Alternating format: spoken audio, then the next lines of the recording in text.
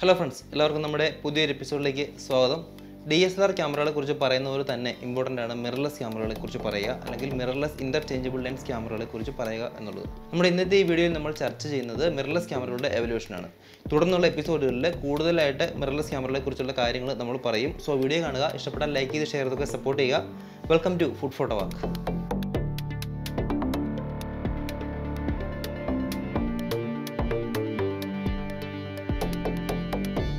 രണ്ടായിരത്തി നാല് ആദ്യമായിട്ട് എപ്സൺ എന്ന ബ്രാൻഡ് ആർ ഡി വൺ എന്ന പേരിൽ ഒരു മിറർലെസ് ക്യാമറ അവതരിപ്പിക്കുകയുണ്ടായി.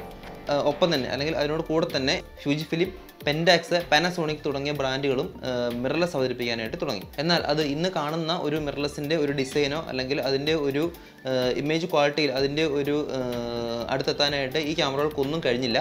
കൂടുതൽ പരീക്ഷണങ്ങൾ അല്ലെങ്കിൽ കൂടുതൽ നല്ല രീതിയിൽ ഡിസൈനിലും ഇമേജ് ക്വാളിറ്റിയിലും വ്യത്യാസങ്ങൾ വരുത്തി കൂടുതൽ നല്ല രീതിയിൽ മിറർലെസ് ക്യാമറകൾ അവതരിപ്പിക്കാനായിട്ട് പല ബ്രാൻഡുകളും അതിനുള്ള ശ്രമങ്ങൾ നടത്തിക്കൊണ്ടിരുന്നു. രണ്ടായിരത്തി പത്തിൽ Sony N E X three എന്ന് പറയുന്ന ഒരു മിറർലെസ് ക്യാമറ അവതരിപ്പിച്ചു. സത്യം പറയുകയാണെങ്കിൽ ഈ മിറർലെസ് ഇന്റർചേഞ്ചബിൾ ലെൻസ് ക്യാമറ വിഭാഗത്തിലെ ഒരു ആദ്യ ക്യാമറ എന്ന് പറയാൻ പറ്റുന്നത് ഈ ഒരു ക്യാമറയാണ് എന്ന് വേണമെങ്കിൽ പറയാം.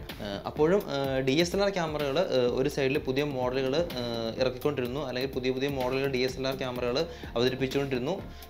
ഒപ്പം തന്നെ ഈ രംഗത്തുള്ള ഈ മിറർലെസ് എന്നുള്ള ഈ രംഗത്തുള്ള കൂടുതൽ എക്സ്പെരിമെന്റ്സ് നടന്നുകൊണ്ടിരുന്നു. കൂടുതൽ എങ്ങനെ ഡിസൈനിൽ നല്ല ഇമേജ് ക്വാളിറ്റി നല്ല വീഡിയോ കേപ്പബിലിറ്റി ഒക്കെ കൊണ്ട് എങ്ങനെ കൂടുതൽ നല്ല ക്യാമറകൾ ഉണ്ടാക്കാം എന്നുള്ള രീതിയിൽ സോണിയും അതുപോലെ തന്നെ മറ്റ് ബ്രാൻഡുകളും ഒക്കെ ആ രംഗത്തുള്ള എക്സ്പെരിമെന്റ്സും വേറെ നടത്തിക്കൊണ്ടിരുന്നു. അപ്പോഴൊന്നും മിറർലെസ് ക്യാമറകൾ ഡി എസ് എൽ ആർ ക്യാമറകൾക്ക് ഒരു വെല്ലുവിളിയാകുമെന്ന് ആരും പ്രതീക്ഷിച്ചില്ല. സോണി ആൽഫ സെവൻ എന്ന് പറയുന്ന ഒരു സിസ്റ്റം അതായത് ഈ മിറർലെസ് ക്യാമറ രംഗത്തെ ഒരു ഒരു ഏറ്റവും മികച്ച ഒരു ക്യാമറ എന്ന് പറയാവുന്ന ആദ്യ ക്യാമറകളിൽ ഒന്നായ സോണി ആൽഫ സെവൻ എന്ന് പറയുന്ന ഒരു ക്യാമറ അവർ സോണി അവതരിപ്പിച്ചു.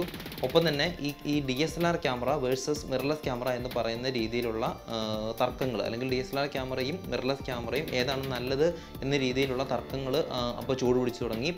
എന്നാൽ അപ്പോഴും ഡി എസ് എൽ ആർ ക്യാമറകളുടെ തട്ട് താണു തന്നെയായിരുന്നു. കാരണം പുതുതായിട്ട് അവതരിപ്പിച്ച ഈ മിറർലെസ് ക്യാമറകൾ അതിന്റെ ഈ ലോ ലൈറ്റിലുള്ള പെർഫോമൻസിന് അത്ര നല്ലതായിരുന്നില്ല. ഒപ്പം തന്നെ അതിന്റെ ബിൽറ്റ് ക്വാളിറ്റി ഒരു ഡി എസ് എൽ ആർ ക്യാമറയുടെ അത്രയും എത്തിയിരുന്നില്ല. കാരണം ഒരു പ്രൊഫഷണലെ ആയിട്ടുള്ള ഒരു ഫോട്ടോഗ്രാഫറെ സംബന്ധിച്ചിടത്തോളം ഔട്ട്ഡോർ ഫോട്ടോഗ്രാഫി അല്ലെങ്കിൽ ഈ wildlife photography sports photography തുടങ്ങിയ കാര്യങ്ങളിലൊക്കെ ഈ മിറർലെസ് ക്യാമറകൾ അത്രയൊന്നും പോരായിരുന്നു. സോ പ്രൊഫഷണലായിട്ട് ക്യാമറ യൂസ് ചെയ്യുന്നില്ല. അല്ലെങ്കിൽ പ്രൊഫഷണൽസ് അവർ പഴയ പോലെ തന്നെ ഡി എസ് എൽ ആർ ക്യാമറകൾ തന്നെ ഉപയോഗിച്ചുകൊണ്ടിരുന്നു.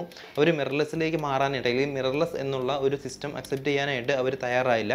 വർഷം രണ്ടായിരത്തി പതിമൂന്ന് മുതൽ രണ്ടായിരത്തി പതിനെട്ട് വരെയുള്ള മാറ്റങ്ങൾ. രണ്ടായിരത്തി പതിമൂന്നിൽ സോണി ആൽഫ സെവൻ എന്ന് പറഞ്ഞ് സോണി ആദ്യം അവതരിപ്പിച്ച ആ ക്യാമറ അവർ കുറച്ച് മാറ്റങ്ങളൊക്കെ വരുത്തി. അല്ലെങ്കിൽ ആദ്യം ഇറങ്ങിയ സോണി ആൽഫ സെവനിന്റെ കുറച്ച് പ്രശ്നങ്ങളൊക്കെ പരിഹരിച്ച് അതിന്റെ കുറവുകളൊക്കെ മാറ്റി അതിന്റെ കുറച്ച് സീരീസ് അവർ അവതരിപ്പിച്ചു ഒപ്പം തന്നെ മറ്റ് ബ്രാൻഡുകളായ ക്യാനോണും പാനസോണിക്ക് അതുപോലെ തന്നെ നിക്കോൺ തുടങ്ങിയ കമ്പനികളൊക്കെ മിറർലെസ് രംഗത്തുള്ള അവരുടെ പരീക്ഷണങ്ങൾ നടത്തി ക്യാമറകളൊക്കെ ലോഞ്ച് ചെയ്തു.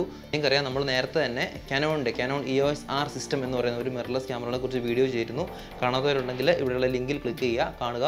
ഒപ്പം തന്നെ നിക്കോൺ അവരുടെ സെഡ് സെവൻ സെഡ് സിക്സ് തുടങ്ങിയ രണ്ട് മിറർലെസ് ക്യാമറകൾ അവർ അവതരിപ്പിച്ചു.